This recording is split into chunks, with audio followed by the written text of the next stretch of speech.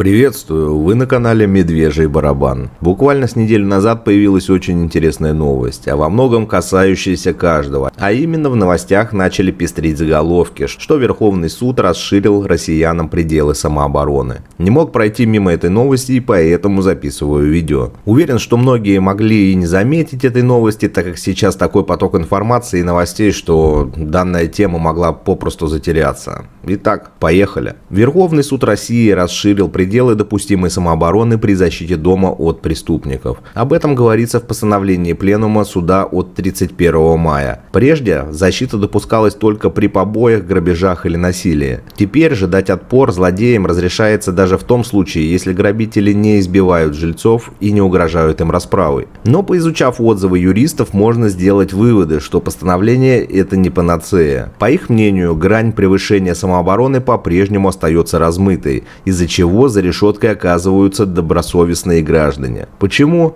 Давайте разбираться. Чем же расширили список? Самооборона допустима теперь и в случае незаконного проникновения постороннего в жилище, даже без применения насилия. В документе также говорится, что необходимая самооборона наступает при наличии реальной угрозы. Например, если нападающий угрожает оружием. Верховный суд Российской Федерации подчеркивает, что любые сомнения в превышении пределов допустимой самообороны судьи должны трактовать в интересах обвиняемого. Также, кроме обороны жилища, новые разъяснения касаются действий, направленных на пресечение нарушений общественного порядка. Их теперь не будут признавать провокации и нападения. Если простым языком говорить, то жильцам разрешили защищаться, если в их квартиру попал посторонний человек, не угрожающий им применением насилия. Ответственность также не будет наступать, когда угроза не соответствовала средству самообороны. Кроме того, россияне могут прибегнуть к самообороне и в случае реальной угрозы со стороны грабителей, например, если преступник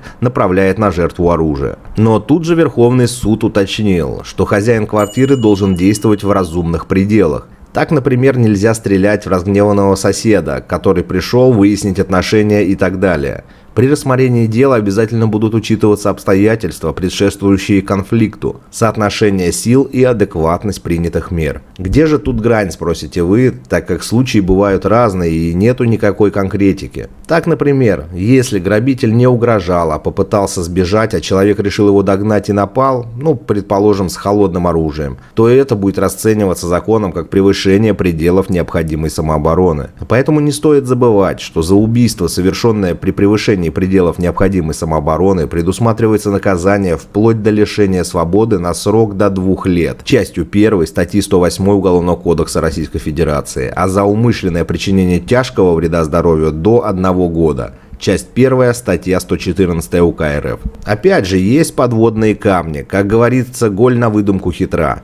Кто-то будет пытаться списывать свои незаконные действия на самооборону и говорить о том, что это была самооборона, когда повреждения, нанесенные другому гражданину, будут несоизмеримы. Существует риск того, что будет злоупотребление именно этой нормой в оправдание своих незаконных действий, когда будет причинен значительный ущерб гражданину. И это только пара примеров, какие-либо выводы, думаю, можно будет сделать только спустя время, судебная практика и так далее. По найденной в интернете информации, с чем же связано связаны такие нововведения, было сказано. Такие посягательства нарушают одно из основополагающих прав человека и гражданина, закрепленное в статье 25 Конституции России. Могут преследовать самые различные противоправные цели и в ходе своего осуществления могут угрожать не менее, а подчас и более важным правоохраняемым интересам, включая жизнь и здоровье людей, находящихся в помещении. Подводя итог, самооборона становится преступлением, когда превышаются ее пределы.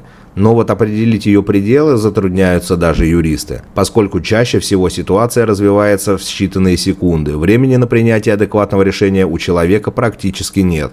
Тем не менее, адвокаты советуют обращаться в полицию. Вот такие новости, друзья. Как всегда, рад буду услышать ваше мнение в комментариях, что вы думаете об этих нововведениях, улучшат ли они ситуацию. В общем, пишите. Больше новостей в моей группе ВКонтакте. Залетайте и подписывайтесь. А понравилось видео, тогда поддержи меня бодрым лайком и подпиской на канал. Это будет лучшая благодарность, ведь вам не сложно, а мне приятно. Но обязательно не забывай нажимать на колокольчик, чтобы не пропустить новые видео. Берегите себя и своих близких. Всем спасибо. Всем пока.